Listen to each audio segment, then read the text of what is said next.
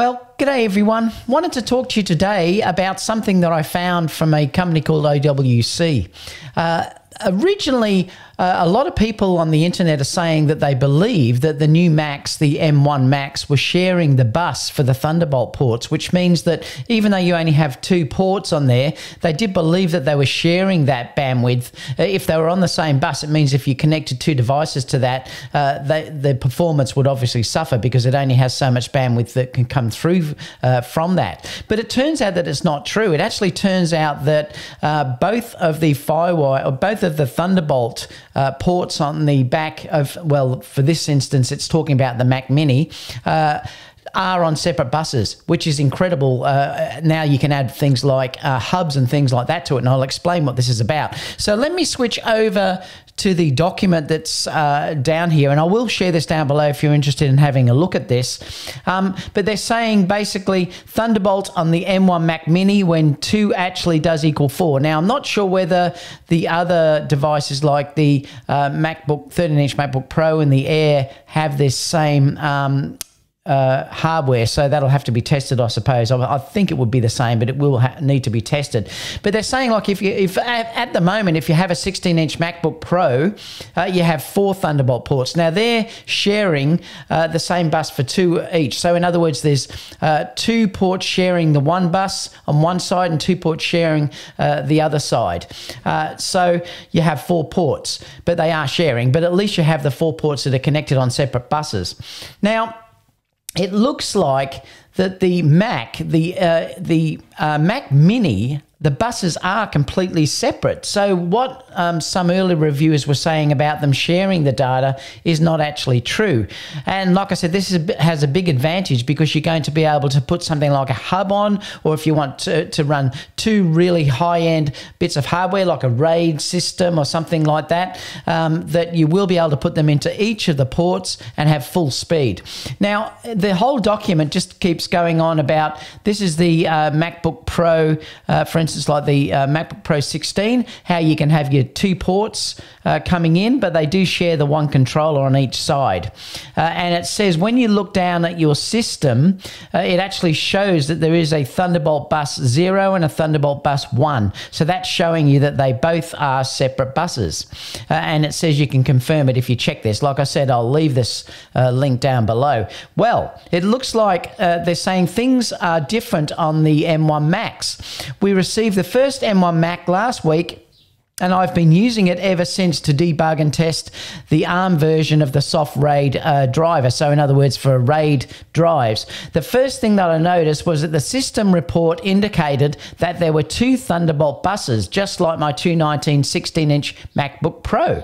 And you can see there that this is the Thunderbolt, uh, this is the M1 Mac, and it is showing Thunderbolt bus 0 and Thunderbolt bus 1. So, again, this is fantastic. So it looks like there's uh, two uh, buses on there. Now it says. Um, Wow, that's unlike any other Thunderbolt equipped Mac I've ever used. System report indicates that there are two Thunderbolt buses, one for each of the Thunderbolt ports.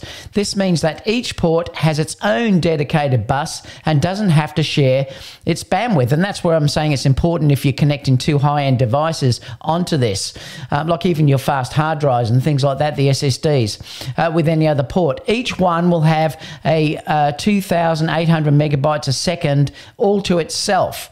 Uh, and I, but he said, uh, or the writer said, I was a bit skeptical, so they decided to test this for certain. So what they did was they grabbed a RAID system. Now they're using four NVMe's SSDs. Now they're very, very quick. Uh, and they've put them in a RAID system and put it as RAID 0. So you'll get, you know, very, very fast performance from these drives. Uh, and they connected them. Now it said that if the two Thunderbolt ports share the same bandwidth, I will not be able to read or write faster than 2800 megabytes a second, the single, the limit of a single Thunderbolt bus. If the two ports are indeed on separate Thunderbolt buses, I will see better performance. Um, so I think what's happened is this connects to both uh, both ports. I think that's how this will work. Um, anyway, what it does, it, it went up to 3,527. So it's over that theoretical, or it is over that maximum of two 800 megabits per second. So they're saying in here um, the results using the AJA system test show that the two Thunderbolt ports of the Mac. Uh, the M1 Mac are indeed separate Thunderbolt buses as I get over 3,500 megabits per second reading from this my Stripe volume.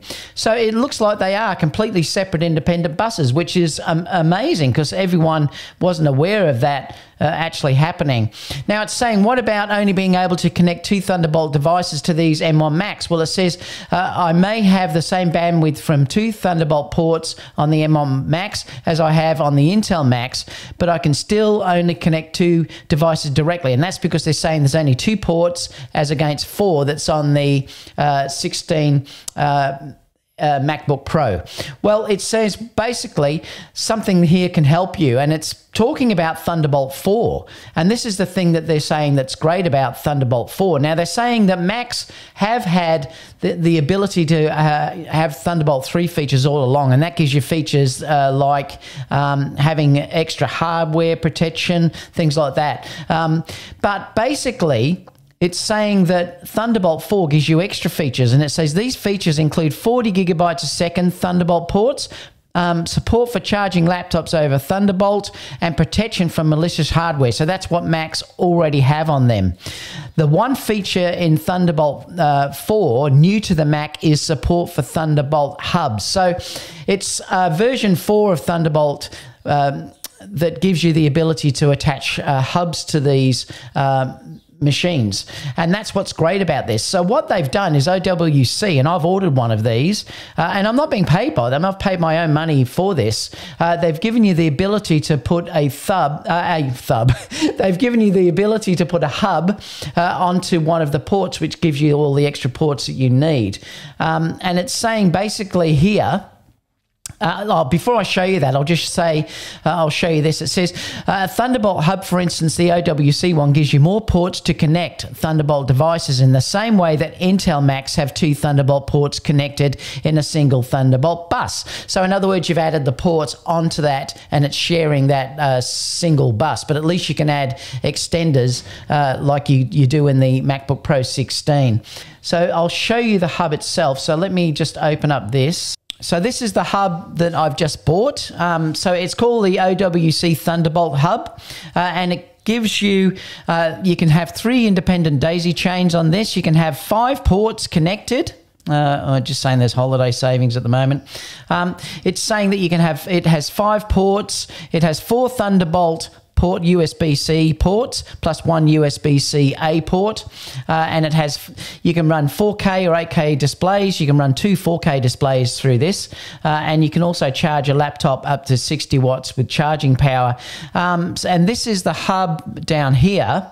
Uh, and it shows you that it's $149 uh, to purchase this. That's US, uh, and you can pre-order it. I think they were saying it's going to be delivered around about um, the 15th or something of this month. Uh, it looks like it's nice and small. Uh, there's a Thunderbolt port at the front and a USB, and then you've got your three Thunderbolt and USB C ports on the back. Uh, and you can see sort of the setup down here, how it's uh, nice and small, and it'll certainly fit in uh, with uh, what you need. It also has the ability to disconnect your drives and things like that from software that connects uh, as well. So I just thought that I'd share you this um, because it seems like a really good uh, solution. Now, I do have a Belkin hub as well that I use, but I think what I'll do is I'll keep the Belkin hub on one uh, Thunderbolt port and then the other Thunderbolt port, I'll attach this uh, OWC uh, Firewire hub and then I can attach more devices to that. So it looks like we do have great solutions. And again, it just makes the M1 Mac even better because everyone thought those buses were being shared and in fact, they're not. They're totally independent. If you have any questions, leave them down below. Uh, apart from that, guys, I'll see you all in the next video. Bye for now.